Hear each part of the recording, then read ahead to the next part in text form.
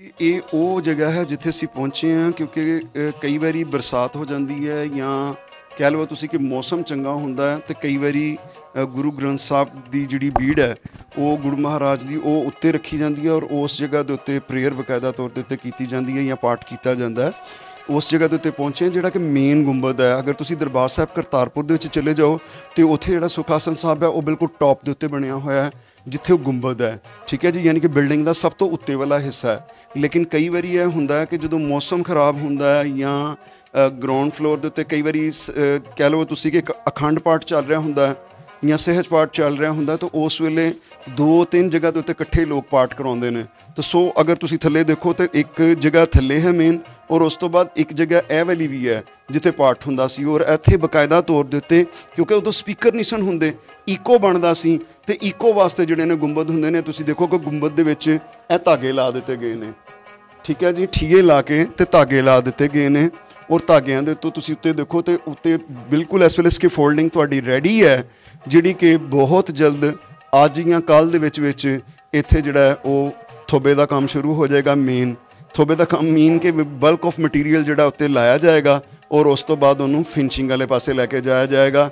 ਸੱਤ ਵਾਰੀ ਜਿਹੜਾ ਮਟੀਰੀਅਲ ਨੂੰ ਲਾ ਕੇ ਫਿਰ ਉਸ ਤੋਂ ਬਾਅਦ ਐਂਡ ਦੇ ਉੱਤੇ ਕਸਾਈ ਕੀਤੀ ਜਾਏਗੀ ਔਰ ਜਿਹੜੀ ਫਿਨਿਸ਼ਿੰਗ ਵਾਲੀ ਲੁੱਕ ਹੈ ਫਾਈਨ ਲੁੱਕ ਹੈ ਜਿਹੜੀ ਹੈ, ਉਹ ਤੁਹਾਡੇ ਵਾਲੇ ਸਾਹਮਣੇ ਆਉਣਾ ਸ਼ੁਰੂ ਹੋ ਜਾਏਗੀ। ਦਿਖਾਓ ਜੀ ਡਿਟੇਲ ਦੇ ਨਾਲ ਸਾਰਾ, ਬਾਰੀਆਂ ਵੀ ਦਿਖਾਓ ਆਰਕਸ ਵੀ ਦਿਖਾਓ। ਇਹ ਸਾਰਾ ਦਾ ਸਾਰਾ ਜਿਹੜਾ ਉਹ origignal ਮਟੀਰੀਅਲ ਦੇ ਵਿੱਚ ਪ੍ਰੀਜ਼ਰਵ ਹੋਵੇਗਾ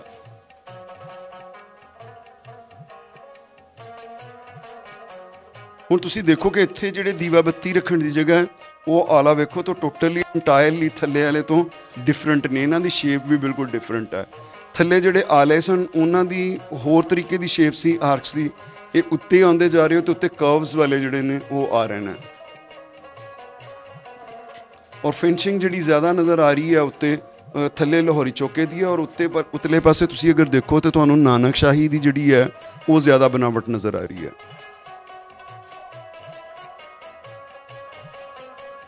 ਠੀਕ ਹੈ ਜੀ, ਮੈਂ ਹਾਂ ਤੁਹਾਡਾ ਆਪਣਾ ਹੋਸਟ ਸ਼ਾਹਿਦ ਸ਼ਬੀਰ ਬਾਬਾ ਜੀ ਔਰ ਤੁਸੀਂ ਦੇਖ ਰਹੇ ਹੋ Ranjit Nigara. What's the Ranjit Nigara Ranjit Nigara is the non profit organisation of Manteca city California state U S A ਜੀ ਹਾਂ ਜੀ ਸਾਡੇ ਸਿੰਘ ਸਾਹਿਬਾਨ ਜਿਹੜੇ ਨੇ ਉਹ ਨਾਨ ਪ੍ਰੋਫਿਟ ਆਰਗੇਨਾਈਜੇਸ਼ਨ ਜਿਹੜੀ ਹੈ ਉਹ ਆਪਰੇਟ ਕਰ ਰਹੇ ਹਨ ਯੂ ਐਸ ਏ ਤੋਂ ਬੈਠ ਕੇ ਤੇ ਉਹ ਉਹਨਾਂ ਦਾ ਕੰਮ ਜਿਹੜਾ ਹੈ ਉਹ ਰਣਜੀਤ ਨਿਗਾਰਾ ਨੂੰ ਮਿਲਿਆ ਹੈ ਕਿ ਜਿਹਦੀ ਆਪਾਂ ਆਵਾਜ਼ ਚੁੱਕਦੇ ਸੀ ਸਵੇਰ ਸ਼ਾਮ ਜਿਹੜੀਆਂ ਅਰਦਾਸਾਂ ਬਿੰਤੀਆਂ ਹੁੰਦੀਆਂ ਨੇ ਕਿ ਉਹਨਾਂ ਵਿਛੜੇ ਹੋਏ ਉਹਨਾਂ ਗੁਰੂ ਘਰਾਂ ਦੀ ਸੇਵਾ ਸੰਭਾਲ ਜਿਹੜੀ ਹੈ ਖਾਲਸਾ ਪੰਥ ਨੂੰ ਬਖਸ਼ੀ ਜਾਵੇ ਜਿਹੜੇ ਕਿ 47 ਦੇ ਵਿੱਚ ਸੰਗਤ ਤੋਂ ਵਿਛੜ ਗਏ ਨੇ। ਤੇ ਮੈਂ ਕਹਾਂਗਾ ਧੰਨ ਭਾਗ ਰਣਜੀਤ ਨਿਗਾਰਾ ਦੇ ਕਿ ਜਿਨ੍ਹਾਂ ਨੂੰ ਇਹ ਸੇਵਾ ਜਿਹੜੀ ਹੈ ਉਹ ਮਿਲੀ ਹੈ। ਔਰ ਉਹ ਸੇਵਾ ਨਿਭਾ ਰਹੇ ਨੇ ਪੂਰੇ ਤਨ ਮਨ ਧਨ ਦੇ ਨਾਲ। ਅਗਰ ਤੁਸੀਂ ਵੀ ਪਾਰਟ ਬਣਨਾ ਚਾਹੁੰਦੇ ਹੋ, ਰਣਜੀਤ ਨਿਗਾਰਾ ਦੇ ਨਾਲ ਕਿਸੇ ਕਿਸਮ ਦੀ ਵੀ ਸੇਵਾ ਨਿਭਾਉਣਾ ਚਾਹੁੰਦੇ ਹੋ, ਹੁਣ ਸੇਵਾਵਾਂ ਜਿਹੜੀਆਂ ਨੇ ਉਹ ਅੱਗੇ ਅੱਗੇ ਚੱਲਦੀਆਂ ਜਾਣੀਆਂ ਨੇ, ਜਿੱਦਾਂ ਕਿ ਹੁਣ ਲਾਈਟ ਸੋਰਸ ਵੀ ਹੋਣੇ ਨੇ, ਗਲੋਬ ਵੀ ਲੱਗਣੇ ਨੇ, ਕਾਰਪੈਟ ਵੀ ਵਿਛਣੇ ਨੇ ਟਾਈਲਿੰਗ ਵੀ ਹੋਣੀ ਹੈ, ਫਲੋਰ ਵੀ ਬਣਨੇ ਨੇ, ਤਾਂ ਅਬ ਤੁਸੀਂ ਕਿਸੇ ਕਿਸਮ ਦੀ ਵੀ ਸੇਵਾ ਜਿਹੜੀ ਹੈ ਤੁਸੀਂ ਆਪਣੇ ਨਾਮ ਦੀ ਉਹ ਨਿਭਾ ਸਕਦੇ ਹੋ ਗੁਰੂ ਘਰ ਦੇ ਵਿੱਚ। ਰਣਜੀਤ ਨਿਗਾਰਾ ਦਾ ਤੁਸੀਂ ਅਫੀਸ਼ੀਅਲ ਪੇਜ ਤੁਸੀਂ ਦੇਖੋ, ਤੁਹਾਨੂੰ ਵੈਬਸਾਈਟ ਤੇ ਮਿਲੇਗਾ ਫੇਸਬੁੱਕ ਤੇ ਮਿਲੇਗਾ YouTube ਦੇ ਉੱਤੇ ਸਾਡੀ ਹਰ ਵੀਡੀਓ ਦੇ ਵਿੱਚ ਸਾਡੀ ਹਰ ਵੀਡੀਓ ਦੇ ਵਿੱਚ ਥੱਲੇ ਸਾਡਾ ਜਿਹੜਾ ਹੈ ਈਮੇਲ ਐਡਰੈਸ ਸਾਡਾ WhatsApp ਨੰਬਰ ਡਾਇਰੈਕਟ ਕੰਟੈਕਟ ਜਿਹੜਾ ਹੈ ਉਹ ਮਿਲੇਗਾ ਔਰ ਸਭ ਤੋਂ ਜ਼ਿਆਦਾ ਇੰਪੋਰਟੈਂਟ ਚੀਜ਼ ਜਿਹੜੀ ਹੈ ਉਹ ਇਹ ਹੈ ਕਿ ਰਣਜੀਤ ਨਿਗਾਰਾ ਦੀ ਕੋਈ ਵੀ ਬ੍ਰਾਂਚ ਕਿਸੇ ਵੀ ਮੁਲਕ ਦੇ ਵਿੱਚ ਕਿਸੇ ਵੀ ਜਗ੍ਹਾ ਦੇ ਉੱਤੇ ਵਰਕ ਨਹੀਂ ਕਰ ਰਹੀ ਤੁਸੀਂ तमाम ਤਰ ਜਿੰਨੀ ਵੀ ਇਨਫੋਰਮੇਸ਼ਨ ਹੈ ਤੁਸੀਂ ਦੇ ਜਾਂ ਲੈ ਸਕਦੇ ਹੋ ਉਹ ਸਿਰਫ ਔਰ ਸਿਰਫ ਕਿੱਥੇ Manteca city California state U S A ਦੇ ਅੰਦਰ ਹੀ ਔਰ ਆਪਣੀ ਸੇਵਾ ਜਿਹੜੀ ਹੈ, ਅਗਰ ਤੁਸੀਂ ਆਪਣੀ ਕਿਸੇ ਕਿਸਮ ਦੀ ਸੇਵਾ ਕਰਨੀ ਚਾਹੁੰਦੇ ਹੋ, ਤਾਂ ਉਹ ਵੀ ਸਿਰਫ ਹੈੱਡ ਆਫਿਸ ਹੀ ਐਕਸੈਪਟ ਕਰਦਾ ਔਨ ਦਾ ਸਾਈਟ ਜਾਂ ਆਨਲਾਈਨ ਕਿਸੇ ਹੋਰ ਜਗ੍ਹਾ ਤੇ, ਕਿਸੇ ਵੀ ਮੁਲਕ ਦੇ ਵਿੱਚ, ਕਿਸੇ ਵੀ ਜਗ੍ਹਾ ਦੇ ਉੱਤੇ ਕਿਸੇ ਕਿਸਮ ਦੀ ਕੋਈ ਬ੍ਰਾਂਚ ਜਾਂ ਸੇਵਾ ਨਹੀਂ ਲੈ ਸਕਦੀ, ਨਾ ਹੀ ਕਿਸੇ ਕੋਲ ਅਥਾਰਟੀ ਹੈ। ਦੂਸਰਾ ਸੀ, ਬਹੁਤ ਸ਼ੁਕਰਗੁਜ਼ਾਰ ਹਾਂ ਪਾਕਿਸਤਾਨ ਸਿੱਖ ਗੁਰਦੁਆਰਾ ਪ੍ਰਬੰਧਕ ਕਮੇਟੀ ਦੇ ਔਰ ਇਵਾਕਿਊ ਟਰਸਟ ਪ੍ਰਾਪਰਟੀ ਬੋਰਡ ਦੇ ਜਿਨ੍ਹਾਂ ਦੇ ਤਾਵਨ ਦੇ ਨਾਲ ਇਹ ਸਾਰੇ ਪ੍ਰੋਜੈਕਟ ਜਿਹੜੇ ਨੇ ਉਹਨਾਂ ਦੀ ਛੱਤਰ ਛਾਵੇਂ ਜਿਹੜੇ ਚੱਲ ਰਹੇ ਨੇ। Thanks to government of Pakistan too ਕਿ ਜਿਨ੍ਹਾਂ ਨੇ ਇਹ ਸਾਰੀ ਮਤਲਬ ਕਿ ਇਹਨਾਂ ਟੀਮਾਂ ਨੂੰ ਕਹਿ ਲਵੋ ਤੁਸੀਂ ਪਰਮਿਸ਼ਨ ਦਿੱਤੀ ਇੱਥੇ ਸੇਵਾ ਦੀ ਔਰ ਆਪਾਂ ਮਜ਼ੀਦ ਅੱਗੇ ਜਿਹੜੀਆਂ ਖੁਸ਼ਖਬਰੀਆਂ ਜਿੱਦਾਂ ਕਿ ਤੁਹਾਡੇ ਨਾਲ ਜ਼ਿਕਰ ਕੀਤਾ ਕਿ ਉਹਨਾਂ ਦੇ ਮਤਲਬ ਵੀ ਤੁਹਾਡੇ ਨਾਲ ਗੱਲ ਕਰਦੇ ਚੱਲਾਂਗੇ। ਅੱਜ ਵਾਸਤੇ ਇੰਨਾ ਹੀ ਹੈ। ਫਿਰ ਹਾਜ਼ਰ ਹੋਵਾਂਗੇ ਕਿਸੇ ਹੋਰ ਗੱਲਬਾਤ ਦੇ ਨਾਲ। ਕਿਸੇ ਹੋਰ ਡਿਟੇਲਸ ਲੈ ਕੇ ਕਿਹੜੇ ਕਿਹੜੇ ਗੁਰੂ ਘਰ ਅਸੀਂ ਪ੍ਰੀਜ਼ਰਵ ਕਰਨੇ ਨੇ, ਅੱਗੇ ਕੀ ਕਰਨ ਜਾ ਰਹੇ ਹਾਂ, ਤੇ stay to tune don't be miss Ranjit Nigara ਨਾਲ ਜੁੜ ਕੇ ਰਹੋ ਔਰ ਇਹਨਾਂ ਦੀ ਵੀਡੀਓਜ਼ ਨੂੰ ਜ਼ਿਆਦਾ ਤੋਂ ਜ਼ਿਆਦਾ ਸ਼ੇਅਰ ਕਰੋ ਤਾਂ ਕਿ ਲੋਕਾਂ ਤੱਕ ਜਿਹੜੀ ਹੈ ਉਹ ਅਵੇਅਰਨੈਸ ਹੋ ਸਕੇ ਕਿ ਤਾਰੀਖ ਨੂੰ ਇੰਜ ਵੀ ਪ੍ਰੀਜ਼ਰਵ ਕੀਤਾ ਜਾ ਸਕਦਾ ਜਿਸ ਤਰ੍ਹਾਂ ਕਿ ਰਣਜੀਤ ਨਿਗਾਰਾ ਕਰ ਰਿਹਾ ਹੈ। ਰੱਬ ਰੱਖਾ। ਹਾਂਜੀ ਜੀ ਗੁਰਪਿਆਰੀ ਸੰਗਤ ਜੀ, ਅਸੀਂ ਇਸ ਵੇਲੇ ਪਹੁੰਚ ਚੁੱਕੇ ਹਾਂ ਥਰਡ ਫਲੋਰ ਤੋਂ ਜਿਹੜਾ ਸੈਕੰਡ ਫਲੋਰ ਤੋਂ ਜਿਹੜਾ ਥਰਡ ਫਲੋਰ ਵੱਲ ਰਸਤਾ ਜਾਂਦਾ ਜਿੱਥੇ ਕਿ ਆਪਾਂ ਕਹਿ ਸਕਦੇ ਹਾਂ ਕਿ ਜਿੱਥੇ ਗੁੰਬਦ ਹੈ ਉੱਤੇ। ਤੇ ਉਸ ਏਰੀਏ ਦੇ ਵਿੱਚ ਹੁਣ ਫਾਈਨਲੀ ਕਾਫੀ ਲੋਕ ਪੁੱਛ ਵੀ ਰਹੇ ਸਨ ਕਿ ਗੁੰਬਦ ਦਾ ਕੀ ਕਰਨਗੇ। ਭਾਜੀ, ਗੁੰਬਦ ਵੀ ਉਸੇ ਤਰ੍ਹਾਂ ਹੀ ਹੋਣਾ ਹੈ, ਜਿਸ ਤਰ੍ਹਾਂ ਕਿ ਬਾਕੀ ਜਿਹੜਾ ਰੀਸਟੋਰੇਸ਼ਨ ਕੀਤੀ ਗਈ ਹੈ। ਔਰ ਇੱਕ ਹੋਰ ਚੀਜ਼ ਹੈ, ਤੁਸੀਂ ਦੇਖੋ ਕਿ ਜਿਹੜੀ ਪਹਿਲੇ ਨਹੀਂ ਮੈਨੂੰ ਨਜ਼ਰ ਆਈ, ਇਹ ਉੱਤੇ ਦੇਖੋ ਇੱਕ ਠੀਆ ਲੱਗਾ ਹੋਇਆ ਹੈ। ਇਹ ਸਪੋਰਟ ਨਜ਼ਰ ਆ ਰਹੀ ਹੈ, ਇਹਦੇ ਉੱਤੇ ਤੁਸੀਂ ਦੇਖੋ ਪਹਿਲੇ ਫੱਟੀ ਲਾ ਕੇ, ਠੀਆ ਲਾ ਕੇ ਉਹਨੂੰ ਰੋਕਿਆ ਗਿਆ ਹੈ ਮਟੀਰੀਅਲ ਨੂੰ। ਮੈਂ ਸੋਚ ਰਿਹਾ ਸੀ ਕਿ ਮਟੀਰੀਅਲ ਕਿੱਦਾਂ ਰੋਕਦੇ ਹੋਣਗੇ। ਹੁਣ ਮੈਨੂੰ ਸਮਝ ਆਈ ਹੈ ਕਿ ਇੱਕ ਠੀਆ ਬਨ ਕੇ ਉਹਦੇ ਥੱਲੇ ਜਿਹੜਾ ਸਪੋਰਟ ਲਾਈ ਗਈ ਹੈ ਬਕਾਇਦਾ ਔਰ ਇਹਨੂੰ ਕਿੰਨੀ ਦੇਰ ਉਸਤਾਦ ਜੀ ਰੱਖਿਆ ਜਾਂਦਾ? ਇਹ ਕਿੰਨੀ ਦੇਰ ਫੱਟੀ ਲੱਗੀ ਰਹੇਗੀ? ਕਿੰਨੀ ਕੁ ਦੇਰ ਲਾਉਂਦੇ ਹੋ ਟੋਟਲ ਅਜੇ ਉਸ ਟਾਈਮ ਲਾ ਕੇ ਮਾਲ ਕੁਝ ਖੁਸ਼ਕ ਕਿੰਨੀ ਦੇਰ ਚ ਹੋ ਜਾਏਗਾ?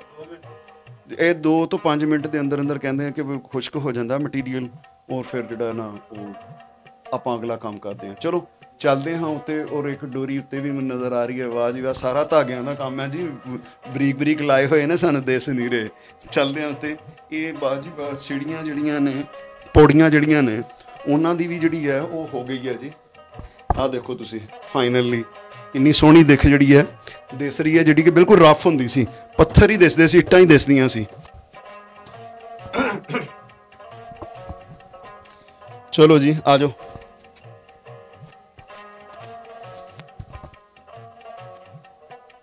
ਦੇਖੋ ਜੀ, ਹੁਣ ਬਾਰਿਸ਼ਾਂ ਪੈ ਗਈਆਂ ਨੇ ਔਰ ਬਾਰਿਸ਼ਾਂ ਦੇ ਵਿੱਚ ਜਿਹੜੀ ਛੱਤ ਸੀ, ਤੁਸੀਂ ਲਾਸਟ ਟਾਈਮ ਅਸੀਂ ਤੁਹਾਨੂੰ ਦਿਖਾਇਆ ਸੀ ਕਿ ਛੱਤ ਜਿਹੜੀ ਹੈ ਬਹੁਤ ਹੀ ਕਰੈਕ ਆਏ ਸਨ। ਲੇਕਿਨ ਉਹ ਛੱਤ ਜਿਹੜੀ ਹੈ ਉਹ ਵੀ ਫਿਨਿਸ਼ਿੰਗ ਦੇ ਵਿੱਚ ਲਪਾਈ ਕਰ ਦਿੱਤੀ ਗਈ ਹੈ ਔਰ ਜਿਹੜੇ ਗੁੰਬਦ ਨੇ, ਉਹਨਾਂ ਦੀ ਸਿਲਾਈ ਸ਼ੁਰੂ ਹੋ ਗਈ ਹੈ। ਮੇਨ ਚੀਜ਼ ਹੈ ਕਿ ਇਸ ਵੇਲੇ ਰੇਨੀ ਸੀਜ਼ਨ ਹੈ ਔਰ ਇਹਦੇ ਵਿੱਚ ਬਹੁਤ ਹੀ ਪਿਆਰੇ ਤਰੀਕੇ ਨਾਲ ਪਤਾ ਚੱਲ ਜਾਣਾ ਕਿ ਕਿਹੜੀ ਚੀਜ਼ ਕਿੱਥੋਂ ਲੀਕ ਕਰ ਰਹੀ ਹੈ। ਚਾਰੋਂ ਪਾਸੋਂ ਦਿਖਾਓ ਜੀ ਜ਼ਰਾ।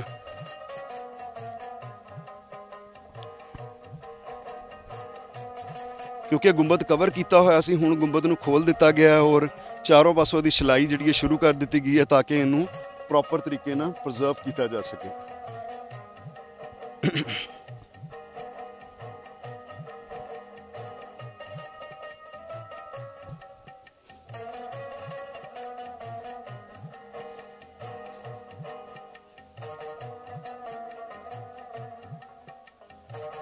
ਹਾਂਜੀ ਜੀ। ਦੇਖ ਲਿਆ ਤੁਸੀਂ ਕਿ ਜਿੱਦਾਂ ਆਪਾਂ ਤੁਹਾਨੂੰ ਦੱਸ ਰਹੇ ਸੀ ਕਿ ਵੀ ਗੁੰਬਦ ਜਿਹੜਾ ਉਹ ਉੱਤੋਂ ਤੁਸੀਂ ਦੇਖੋ ਉੱਤੋਂ ਸ਼ੁਰੂ ਕਰ ਦਿੱਤਾ ਉਹਨਾਂ ਨੇ ਔਰ ਉੱਤੋਂ ਥੱਲੇ ਵਾਲੇ ਪਾਸੇ ਆ ਰਹੇ ਨੇ, ਸਿਲਾਈ ਜਿਹੜੀ ਹੈ ਹਲਕੀ ਹਲਕੀ, ਇਹ ਤੁਹਾਨੂੰ ਨਜ਼ਰ ਆ ਰਹੀ ਹੋਏਗੀ। ਠੀਕ ਹੈ ਜੀ? ਉਹ ਕੀਤੀ ਜਾ ਰਹੀ ਹੈ ਤਾਂ ਕਿ ਜਿੰਨਾ ਵੀ ਬਿਹਤਰੀਨ ਤਰੀਕੇ ਨਾਲ ਕੰਮ ਹੋ ਸਕੇ, ਉਹਦੇ ਤੇ ਕੀਤਾ ਜਾ ਸਕੇ। ਬਾਰਿਸ਼ਾਂ, ਮੌਨਸੂਨ ਆਪਣੇ ਪੂਰੇ ਅਰੂਜ ਤੇ ਹੈ। ਠੀਕ ਹੈ ਜੀ? ਹਵਾ 'ਚ ਨਮੀ ਦਾ ਤਨਾਸਬ ਜਿਹੜਾ ਬਹੁਤ ਵੱਧ ਗਿਆ ਪਰ ਇੱਕ ਚੀਜ਼ ਹੋਈ ਹੈ ਕਿ ਉਹ ਜਿਹੜੀ ਡਸਟ ਜੀ ਉੱਡਦੀ ਸੀ, ਸਾਵਾਂ ਨੂੰ ਪੈਂਦੀ ਸੀ, ਉਹ ਘਟ ਗਈ ਹੈ ਬਾਰਿਸ਼ ਕਰਕੇ। ਹਰ ਪਾਸੇ ਹਰਿਆਲੀ ਦਾ ਰਾਜ ਹੈ। ਠੀਕ ਹੈ ਜੀ, ਜਿਸ ਤਰ੍ਹਾਂ ਕਿ ਸੋਕਾ ਪਿਆ ਹੋਇਆ ਸੀ ਕੁਛ ਅਰਸਾ ਪਹਿਲੇ ਜੂਨ ਦੇ ਮਹੀਨੇ 'ਚ, ਉਹੀ ਜੁਲਾਈ ਔਰ ਅਗਸਤ ਦੇ ਵਿੱਚ ਆ ਕੇ ਇਦਾਂ ਲੱਗਦਾ ਜਿੱਦਾਂ ਕਿ ਹਰ ਚੀਜ਼ ਜ਼ਿੰਦਾ ਹੋ ਚੁੱਕੀ ਹੈ। ਗੁਰੂ ਘਰ ਦੇ ਨਾਲ ਲੱਗੇ ਹੋਏ ਮਾਲਟਿਆਂ ਦਾ ਬਾਗ ਜਿਹੜਾ ਇਸ ਵੇਲੇ ਆਪਣੇ ਪੂਰੇ ਅਰੂਜ ਤੇ ਹੈ। ਠੀਕ ਹੈ ਜੀ।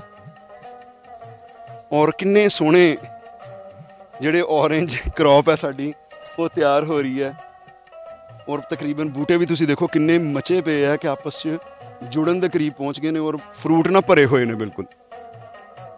ਉਮੀਦ ਕਰਦੇ ਹਾਂ ਕਿ ਨਾਲ ਦੀ ਨਾਲ ਇੱਕ ਗੱਲ ਹੋਰ ਤੁਹਾਨੂੰ ਦੱਸਦਾ ਚੱਲਾਂ ਕਿ ਆਪਾਂ ਜਦੋਂ ਗੁਰੂ ਘਰ ਨੂੰ ਪ੍ਰੀਜ਼ਰਵ ਕਰਨਾ ਤਾਂ ਉਹਦੇ ਨਾਲ ਆਪਾਂ ਕੋਸ਼ਿਸ਼ ਕਰਨੀ ਕਿ ਪੁਰਾਤਨ। ਪੁਰਾਤਨ ਜਿਹੜੇ ਬੂਟੇ ਨੇ ਉਹਨਾਂ ਦੀ ਵੀ ਲਾਉਣ ਦੀ ਕੋਸ਼ਿਸ਼ ਕੀਤੀ ਜਾਏਗੀ, ਜਿੱਦਾਂ ਕਿ ਬਾਬਾ ਗੁਰੂ ਨਾਨਕ ਸਾਹਿਬ ਦੇ ਦੌਰ ਦੇ ਵਿੱਚ ਜਦੋਂ ਟਰੈਵਲ ਕਰਦੇ ਸਨ ਤੇ ਬੇਰਾਂ ਦਾ ਜ਼ਿਕਰ ਆਉਂਦਾ ਕਿ ਭਾਈ ਮਰਦਾਨਾ ਜੀ ਨੂੰ ਬੇਰ ਖਾਣ ਲਈ ਜਿਹੜੇ ਦਿੱਤੇ ਗਏ ਸੀ, ਖੁਸ਼ਕ ਬੇਰ ਸੀ, ਪਹਿਲੇ ਪਾਣੀ 'ਚ ਭਿਓ ਜਾਂਦੇ, ਫਿਰ ਦਿੱਤੇ ਜਾਂਦੇ ਸੀ। ਕਿ ਪੁਰਾਣੇ ਪੁਰਾਣੇ ਤੁਸੀਂ ਦੇਖ ਲਓ ਕਿ ਅਗਰ ਦਰਬਾਰ ਸਾਹਿਬ ਅੰਮ੍ਰਿਤਸਰ ਹੈ, ਉੱਥੇ ਵੀ ਬੇਰੀ ਹੈ। ਸਿਆਲਕੋਟ ਜਿਹੜਾ ਗੁਰਦੁਆਰਾ ਹੈ, ਉੱਥੇ ਵੀ ਬਾਬੇ ਦੀ ਬੇਰ ਸਾਹਿਬ ਹੈ, ਯਾਨੀ ਕਿ ਉੱਥੇ ਵੀ ਬੇਰੀ ਹੈ। ਫਿਰ ਉਸ ਤੋਂ ਬਾਅਦ ਅਗਰ ਤੁਸੀਂ ਇੱਕ ਹੋਰ ਗੁਰੂ ਘਰ ਹੈ ਕਹਿ ਲਓ ਤੁਸੀਂ ਪਸਰੂਰ ਦੇ ਲਾਗੇ ਹੈ, ਜਿਹਨੂੰ ਕਿ ਮੰਜੀ ਸਾਹਿਬ ਕਿਹਾ ਜਾਂਦਾ, ਉੱਥੇ ਵੀ ਬੇਰੀ ਹੈ। ਲਾਹੌਰ ਵਿੱਚ ਵੀ ਕੋਈ ਗੁਰੂ ਘਰ ਹੈ, ਉਹਦੇ ਨਾਲ ਵੀ ਬੇਰੀ ਹੈ। ਮੀਨ ਕਿ ਜਿੱਥੇ ਜਿੱਥੇ ਗੁਰੂ ਘਰ ਹੈ, ਉੱਥੇ ਪੁਰਾਤਨ ਬੇਰੀਆਂ ਵੀ ਜਿਹੜੀਆਂ ਨੇ, ਉਹ ਨਾਲ ਰਹੀਆਂ ਨੇ। ਤੇ ਇਸੇ ਤਰ੍ਹਾਂ ਹੀ ਲਹੂੜੇ ਦਾ ਜ਼ਿਕਰ ਆਉਂਦਾ ਹੈ। ਤੇ ਆਪਾਂ ਕੋਸ਼ਿਸ਼ ਕਰਾਂਗੇ ਕਿ ਪੁਰਾਤਨ ਜਿਹੜੇ ਟਰੀਜ਼ ਨੇ, ਖਾਲੀ ਦਿੱਖ ਨਹੀਂ, ਜਿਹੜੇ ਗੁਰੂ ਘਰ ਦੇ ਨਾਲ ਬਾਗ ਬਗੀਚੇ ਛੋਟੇ ਛੋਟੇ ਹੁੰਦੇ ਸੀ, ਉਹਨਾਂ ਦੀ ਜਿਹੜੀ ਦਿੱਖ ਹੈ, ਉਹ ਵੀ ਓਰੀਜਨਲ ਤਰੀਕੇ ਨਾਲ ਕੀਤੀ ਜਾਏ ਔਰ ਇਹਦੇ ਨਾਲ ਹੈੱਡ ਆਫਿਸ ਕਿਉਂਕਿ ਮੈਂ ਖੁਦ ਹਾਰਟੀਕਲਚਰ ਐਕਸਪਰਟ ਆ, ਮੇਰੀ ਕਾਫੀ ਡਿਟੇਲ ਨਾਲ ਗੱਲਬਾਤ ਹੁੰਦੀ ਰਹਿੰਦੀ ਹੈ। ਆਪਣੇ ਸਤਪ੍ਰੀਤ ਸਿੰਘ ਜੀ ਜਿਹੜੇ ਨੇ, ਉਹ ਸਾਰੇ ਟਾਈਮਾਂ 'ਚੋਂ ਟਾਈਮ ਕੱਢ ਕੇ, ਪਹਿਲੇ ਉਹਨਾਂ ਦੀ ਇਹੀ ਹੁੰਦੀ ਹੈ ਕਿ ਜ਼ਿਆਦਾ ਤੋਂ ਜ਼ਿਆਦਾ ਬਿਹਤਰ ਔਰ ਚੰਗੇ ਤਰੀਕੇ ਨਾਲ ਸੇਵਾ ਕਿੱਦਾਂ ਨਿਭਾਈ ਜਾ ਸਕਦੀ ਹੈ। ਤੋ ਸੋ ਇਸ ਏਰੀਏ ਦੇ ਵਿੱਚੋਂ ਤੁਹਾਨੂੰ ਮੈਂ ਦੱਸਦਾ ਚੱਲਾਂ ਕਿ ਇੱਥੋਂ ਇੱਕ ਬਹੁਤ ਹੀ ਨਾਇਆਬ ਪੌਦਾ, ਜਿਹਨੂੰ ਕਿ ਲਹੂੜਾ ਕਿਹਾ ਜਾਂਦਾ ਹੈ। ਉਹਦੇ ਰਬਾਬ ਬੜੇ ਸੋਹਣੇ ਬਣਦੇ ਹੁੰਦੇ ਸੀ। ਅਗਰ ਲਾਹੌਰ, ਪਾਕਿਸਤਾਨ ਔਰ ਇੰਡੀਆ ਦੇ ਬਾਰਡਰ ਦੇ ਕਰੀਬ, ਅਗਰ ਤੁਸੀਂ ਕਹੋ ਖਾਸ ਕਰਕੇ ਬੇਦੀਆਂ ਵਾਲੀ ਸਾਈਡ ਤੋਂ। ਬੇਦੀਆਂ ਇੱਕ ਟਾਊਨ ਹੈ ਛੋਟਾ ਜਿਹਾ, ਜਿਹੜਾ ਕਿ ਇੰਡੀਆ ਔਰ ਪਾਕਿਸਤਾਨ ਦੇ ਬਿਲਕੁਲ ਜ਼ੀਰੋ ਬਾਉਂਡਰੀ ਦੇ ਕਰੀਬ ਹੈ। ਅਗਰ ਉਸ ਪਾਸੇ ਜਾਓ ਤਾਂ ਉੱਥੇ ਗੁਰਦੁਆਰਾ ਪਹਿਲੀ ਪਾਤਸ਼ਾਹੀ ਲਹੂੜਾ ਸਾਹਿਬ ਹੈ, ਕਿ ਦੱਸਿਆ ਜਾਂਦਾ ਹੈ ਕਿ ਜਿਹੜੇ ਪੁਰਾਤਨ ਤਾਰੀਖ ਨੂੰ ਖੰਗਾਲਦੇ ਰਹੇ ਨੇ, ਸਾਡੇ ਤੋਂ ਪਹਿਲੇ ਜਿਹੜੇ ਉਸਤਾਦ ਨੇ ਇਕਬਾਲ ਕੈਸਰ ਸਾਹਿਬ ਨੇ ਆਪਣਾ ਮੈਨੂੰ 4-5 ਸਾਲ ਪਹਿਲੇ ਇੱਕ ਡਿਊਟੀ ਲਾਈ ਸੀ। ਕਿ ਤੁਸੀਂ ਲਹੂੜਾ ਦੇ ਬੂਟੇ ਬਾਰੇ ਜਿਹੜਾ ਨਾ ਲਹੂੜਾ ਲੱਭੋ। ਫਿਰ ਮੈਂ ਉਹਨਾਂ ਕੋਲੋਂ ਪੁੱਛਿਆ ਕਿ ਲਹੂੜਾ ਕਿਉਂ ਇੰਨਾ ਇੰਪੋਰਟੈਂਟ ਹੈ? ਕਿਉਂਕਿ ਉਹ ਸਿੱਖ ਹਿਸਟਰੀ ਨਾਲ ਬਹੁਤ ਪਹਿਲੇ ਦੇ ਜੁੜੇ ਹੋਏ ਨੇ, ਸਾਡੇ ਤੋਂ ਬਹੁਤ ਵੱਡੇ ਨੇ। ਨਾਲੇ ਉਹਨਾਂ ਦੀ ਖੋਜ ਵੀ ਬਹੁਤ ਜ਼ਿਆਦਾ ਹੈ। ਤਾਂ ਉਹਨਾਂ ਨੇ ਫਿਰ ਉਹ ਦੱਸਿਆ ਕਿ ਬਾਬਾ ਗੁਰੂ ਨਾਨਕ ਸਾਹਿਬ ਇੱਥੋਂ ਉਹ ਬੂਟਾ ਜਿਹੜਾ ਸੀ, ਲਾਹੌਰ ਲੈ ਕੇ ਗਏ ਸੀ ਗੁਰਦੁਆਰਾ। ਸ੍ਰੀ ਪਹਿਲੀ ਪਾਤਸ਼ਾਹੀ ਲਹੂੜਾ ਸਾਹਿਬ ਅੱਗੇ ਜਾ ਕੇ ਉਹ ਬੂਟਾ ਲਾਇਆ ਗਿਆ ਸੀ ਔਰ ਬਾਦੋਂ ਕਹਿੰਦੇ ਜਦੋਂ ਫਲਿਆ ਫੁੱਲਿਆ ਸੀ, ਬਕਾਇਦਾ ਉਹਦੇ ਰਬਾਬ ਬਣਾਏ ਵੀ ਗਏ ਸੀ। ਕਿਉਂਕਿ ਤਾਰੀਖ ਦੇ ਵਿੱਚ ਆਂਦਾ ਕਿ ਲਹੂੜੇ ਦੇ ਬੂਟੇ ਦੇ ਜਿਹੜੇ 뮤직 ਇਨਸਟਰੂਮੈਂਟਸ ਨੇ, ਉਹ ਬਹੁਤ ਅੱਛੇ ਬਣਦੇ ਸਨ। ਤੇ ਸੋ ਇਹ ਅਪਡੇਟ ਸੀ ਕਿ ਅਗਰ ਸਾਨੂੰ ਲੋੜ ਪਈ ਇੱਥੇ ਗਾਰਡਨ ਕ੍ਰੀਏਟ ਕਰਨ ਦੀ, ਤੇ ਆਪਾਂ ਪੁਰਾਤਨ ਟਰੀਜ਼ ਜਿਹੜੇ ਨੇ, ਉਹਨਾਂ ਨੂੰ ਮੱਦੇਨਜ਼ਰ ਰੱਖਾਂਗੇ not a modern landscape modern landscape ਨਹੀਂ, ਬਲਕਿ ਫਾਰਮਲ ਲੈਂਡਸਕੇਪਿੰਗ ਜਿਹੜੀ ਹੁੰਦੀ ਸੀ ਪੁਰਾਣੀ ਉਹਦੀ ਦੇਖ ਔਰ ਉਸੇ ਤਰ੍ਹਾਂ ਹੀ ਆਪਾਂ ਰੱਖਾਂਗੇ। ਮੈਂ ਹਾਂ ਤੁਹਾਡਾ ਆਪਣਾ ਹੋਸਟ ਸ਼ਾਹਿਦ ਸ਼ਬੀਰ ਬਾਬਾ ਜੀ ਔਰ ਦਿਨ ਭਰ ਅੱਜ ਤੁਹਾਨੂੰ ਅਸੀਂ ਅਪਡੇਟ ਦਿੱਤੀ। ਗੁਰਦੁਆਰਾ ਸ੍ਰੀ ਪਹਿਲੀ ਪਾਤਸ਼ਾਹੀ ਚੋਹਾ ਬਾਬਾ ਗੁਰੂ ਨਾਨਕ ਸਾਹਿਬ, ਜਿੱਥੇ ਕਿ ਕਾਰ ਸੇਵਾ ਚੱਲ ਰਹੀ ਹੈ ਨਾਨ ਪ੍ਰੋਫਿਟ ਆਰਗੇਨਾਈਜੇਸ਼ਨ ਵੱਲੋਂ ਰਣਜੀਤ ਨਿਗਾਰਾ ਵੱਲੋਂ। ਰਣਜੀਤ ਨਿਗਾਰਾ ਜਿਹੜੀ ਕਿ Manteca city, California state U S A ਤੋਂ ਬੇਸਡ ਹੈ। ਠੀਕ ਹੈ ਜੀ? ਤੇ ਇਹ ਸਾਰੀ ਜਿਹੜੀ ਜਿੰਨੀ ਵੀ ਸੇਵਾ ਚੱਲ ਰਹੀ ਹੈ ਇਹਦੀ ਦੇਖ ਰੇਖ ਜਾਂ ਅੰ- ਛਤਰ ਛਾਵੇਂ ਜਿਹੜੇ ਪਾਕਿਸਤਾਨ ਸਿੱਖ ਗੁਰਦੁਆਰਾ ਪ੍ਰਬੰਧਕ ਕਮੇਟੀ ਉਹ ਨਾਲ ਦੀ ਨਾਲ ਹੀ ਇਵਾਕਿਊ ਟਰਸਟ ਪ੍ਰਾਪਰਟੀ ਬੋਰਡ ਹੈ ਅਸੀਂ तमाम ਡਿਪਾਰਟਮੈਂਟਸ ਦੇ ਜੋ ਸਾਡੇ ਹੈਲਪਿੰਗ ਹੈਂਡਸ ਨੇ ਜ਼ਿਲ੍ਹੀ ਹਕੂਮਤ ਹੈ ਚਾਹੇ ਤਹਿਸੀਲ ਹਕੂਮਤ ਹੈ ਜਾਂ ਸਾਡੇ ਜਿੰਨੇ ਵੀ ਹੈਲਪਿੰਗ ਹੈਂਡਸ ਔਰ ਅਹੁਦਰ ਨੇ ਅਸੀਂ ਸਾਰਿਆਂ ਦਾ ਸ਼ੁਕਰੀਆ ਅਦਾ ਕਰਨੇ ਹਾਂ ਕਿ ਉਹਨਾਂ ਦੀ ਅਹ, ਜਿਹੜੀ ਸਾਥ ਦੇਣ ਦੇ ਨਾਲ ਆਪਾਂ ਰਣਜੀਤ ਨਿਗਾਰਾ ਜਿਹੜਾ ਉਹ ਇਸ ਲੈਵਲ ਤੇ ਪਹੁੰਚ ਗਿਆ ਹੈ ਕਿ ਬਿਲਡਿੰਗ ਜਿਹੜੀ ਹੈ ਤਕਰੀਬਨ ਤੁਸੀਂ ਕਹਿ ਸਕਦੇ ਹੋ ਕਿ ਮੋਰ ਇੱਕ ਹੋਰ ਮਹੀਨਾ, ਡੇਢ ਮਹੀਨਾ ਲੱਗੇਗਾ ਤੇ ਇਹਦੀ ਆਊਟਰ ਲੁੱਕ ਔਰ ਇੰਟਰ ਲੁੱਕ ਜਿਹੜੀ ਹੈ origignal ਉਸ ਦੇਖ ਦੇ ਵਿੱਚ ਆਉਣ ਵਾਲੀ ਹੈ, ਜਿਹਦੇ 'ਚ ਅਸੀਂ ਦੇਖਣਾ ਚਾਹੁੰਦੇ ਸੀ। ਇੱਕ ਇਤਿਹਾਸਕਾਰ ਔਰ ਇੱਕ ਹਿਸਟੋਰੀਅਨ ਹੁੰਦੇ ਨਾਤੇ ਮੈਨੂੰ ਤਾਂ ਡੇ ਬਾਏ ਡੇ ਬਹੁਤ ਹੀ ਖੁਸ਼ੀ ਹੋ ਰਹੀ ਹੈ ਕਿ ਕਿਆ ਆਪਾਂ ਆਪਣੇ ਇਤਿਹਾਸ ਨੂੰ ਮਿਟਣ ਤੋਂ ਬਚਾ ਸਕਨੇ ਆ। ਤੇ ਮੈਂ ਕਹਾਂਗਾ ਕਿ ਉਹ ਵਾਲਾ ਖੁਆਬ ਜਿਹੜਾ ਸੀ, ਸ਼ਾਇਦ ਰਣਜੀਤ ਨਿਗਾਰਾ ਹੀ ਸਾਨੂੰ ਪੂਰਾ ਕਰਦਾ ਦਿਖਾਈ ਦੇ ਰਿਹਾ ਹੈ। ਕਿ ਜਿਹੜਾ ਆਉਣ ਵਾਲੀ ਪੀੜ੍ਹੀਆਂ ਨੂੰ ਕੱਲ ਨੂੰ ਅਸੀਂ ਜਦੋਂ ਸਾਡੀ ਜਿਹੜੀ ਅਗਲੀ ਜਨਰੇਸ਼ਨ ਹੈ, ਸਾਡੇ ਤੋਂ ਜਦੋਂ ਪੁੱਛੇਗੀ ਕਿ ਵੀ ਤੁਸੀਂ ਕੀ ਕੀਤਾ, ਸਾਡੇ ਲਈ ਕੀ ਛੱਡਿਆ, ਤੇ ਘੱਟੋ ਘੱਟ ਅਸੀਂ ਰਣਜੀਤ ਨਗਾਰਾ ਦਾ ਹਵਾਲਾ ਉੱਥੇ ਦੇਖ ਸਕਾਂ, ਦੇ ਸਕਾਂਗੇ ਕਿ ਜਿੱਥੇ ਅਗਰ ਯੂਨੈਸਕੋ ਨੇ ਜਾਂ ਹੋਰ ਦੂਸਰੇ ਜਿੰਨੇ ਵੀ ਡਿਪਾਰਟਮੈਂਟਸ ਹਨ ਇੰਟਰਨੈਸ਼ਨਲ ਆਰਗੇਨਾਈਜੇਸ਼ਨਸ ਹਨ, ਜਿਹੜੀਆਂ ਕਿ ਪ੍ਰੀਜ਼ਰਵ ਕਰਦੀਆਂ ਨੇ ਹਿਸਟੋਰੀਕਲ ਸੇਵਾਵਾਂ ਦਿੰਦੀਆਂ ਨੇ ਬਿਲਡਿੰਗਸ ਨੂੰ ਪ੍ਰੀਜ਼ਰਵ ਕਰਨ ਦੀਆਂ ਤੇ ਉੱਥੇ ਨਾਲ-ਨਾਲ ਨਾਮ ਰਣਜੀਤ ਨਿਗਾਰਾ ਦਾ ਵੀ ਬੋਲਿਆ ਜਾਏਗਾ ਕਿ ਰਣਜੀਤ ਨਿਗਾਰਾ ਉਹ ਵਾਹਿਦ ਨਾਨ ਪ੍ਰੋਫਿਟ ਆਰਗੇਨਾਈਜੇਸ਼ਨ ਸੀ ਕਿ ਜਿਨੇ ਉਸ ਤੇਜ਼ੀ ਦੇ ਦੌਰ ਦੇ ਵਿੱਚ ਵੀ ਇਹ ਸਾਰਾ ਕੁਝ ਕੀਤਾ ਜਦੋਂ ਕਿ ਢਾਟੇਰੀ ਕਰਕੇ ਇੱਕ ਪਾਸੇ ਗੁਰੂ ਘਰਾਂ ਨੂੰ ਨਵਾਂ ਉਸਾਰਿਆ ਜਾ ਰਿਹਾ ਸੀ ਔਰ ਦੂਜੇ ਪਾਸੇ ਅ, 10 ਟਾਈਮ ਅਬਵ ਖਰਚਾ ਕਰਕੇ ਤੇ ਸੱਤ ਸਮੁੰਦਰ ਪਾਠ ਬੈਠ ਕੇ ਕੁਝ ਸਿੰਘ ਸਾਹਿਬਾਨ ਐਸੇ ਸਨ ਕਿ ਜਿਨ੍ਹਾਂ ਨੇ ਆਪਣੇ ਸੱਭਿਆਚਾਰ ਨਾਲ ਆਪਣੀ ਹਿਸਟਰੀ ਦੇ ਨਾਲ ਆਪਣੇ ਕਲਚਰ ਦੇ ਨਾਲ ਕਿੰਨਾ ਕੁ ਪਿਆਰ ਸੀ ਕਿ ਉਹ ਉੱਥੋਂ ਬੈਠ ਕੇ ਪਾਕਿਸਤਾਨ ਵਿੱਚ ਕੰਮ ਕਰਾ ਰਹੇ ਸੀ। ਮੈਂ ਤੁਹਾਡਾ ਆਪਣਾ host Shahid Shabir Baba ji. Stay to tune Ranjit Nigara.